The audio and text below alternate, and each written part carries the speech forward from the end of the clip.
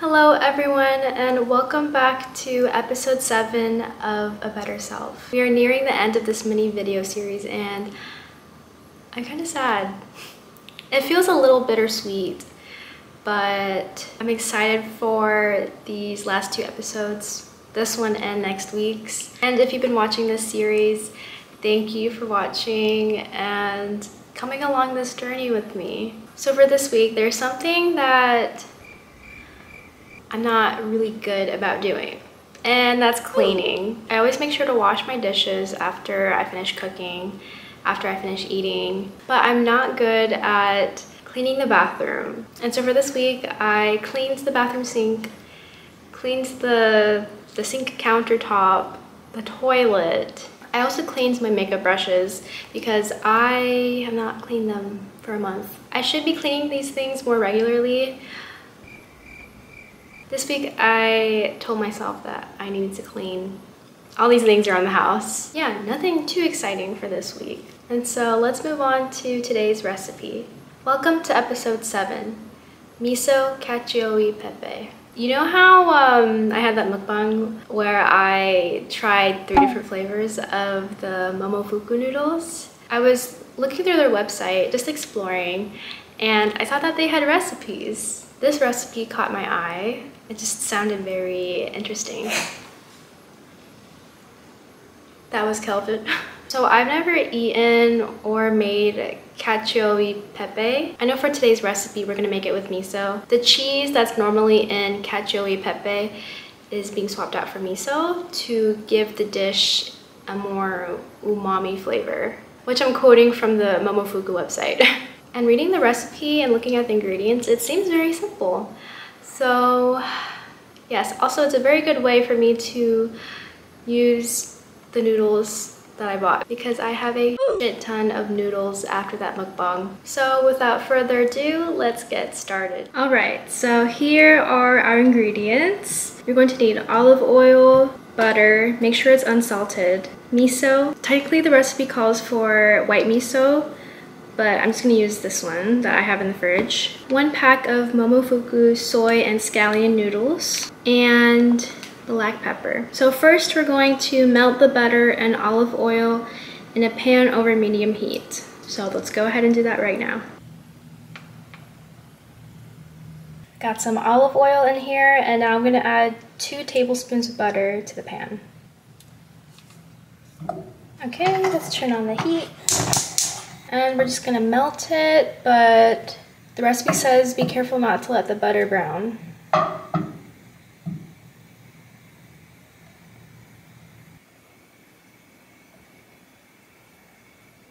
Now we're gonna add two tablespoons of miso.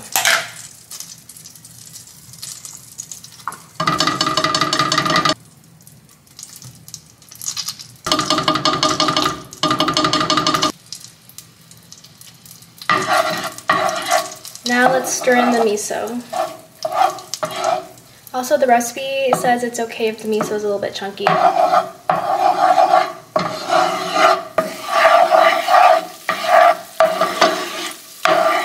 Okay, let's add one and a half cups of water.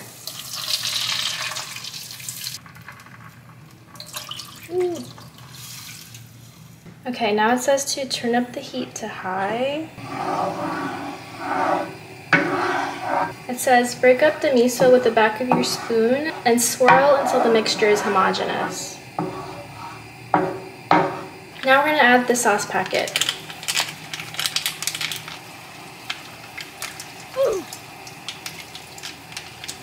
Let's mix it all together. You won't need the scallions from the noodle pack, so you can save that for another time. It smells good. Here's what it looks like right now. Now that it's boiling, we're gonna add the noodles.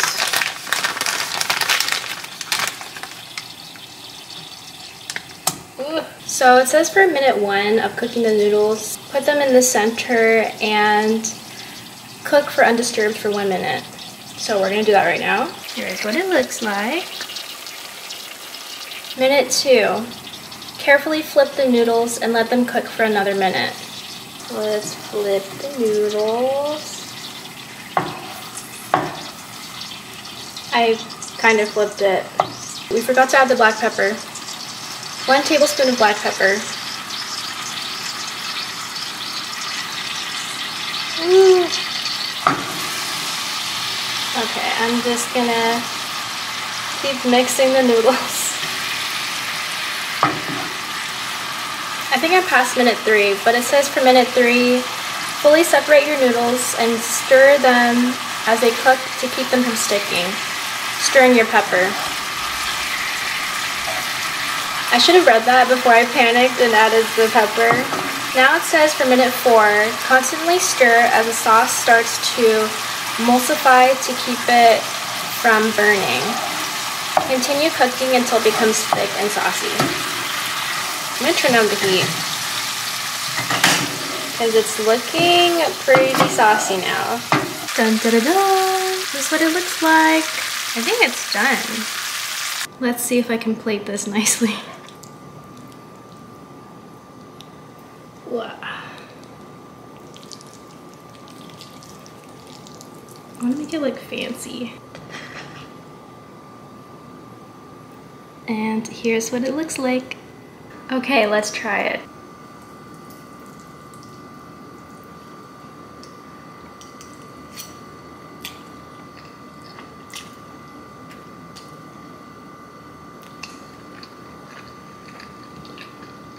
Wow, it has a lot of flavor.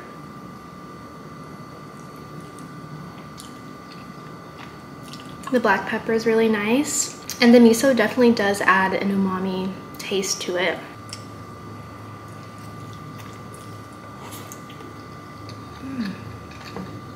This is so good. The pasta is creamy and has a slight kick of heat from the black pepper.